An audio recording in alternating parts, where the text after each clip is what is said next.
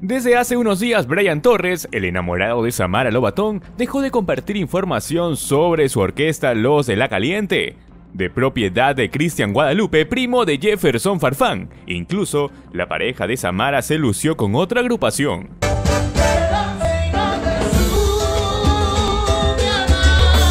A través de un comunicado, la orquesta informó que Torres ya no formaba parte de su agrupación por faltas disciplinarias.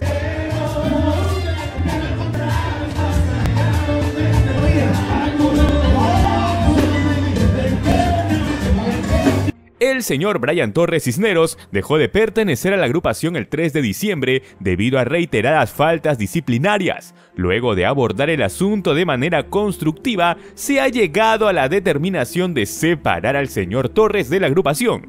A nuestro público apreciamos su continuo apoyo y merecen respeto, se lee en el comunicado. En los últimos días, Brian se lució con otra agrupación de salsa con la que se fue de gira, hecho que llamó la atención de sus seguidores, pues se sabía que era parte de los de la caliente. Los involucrados. Ya, genial. Ya está, con sus Juanes.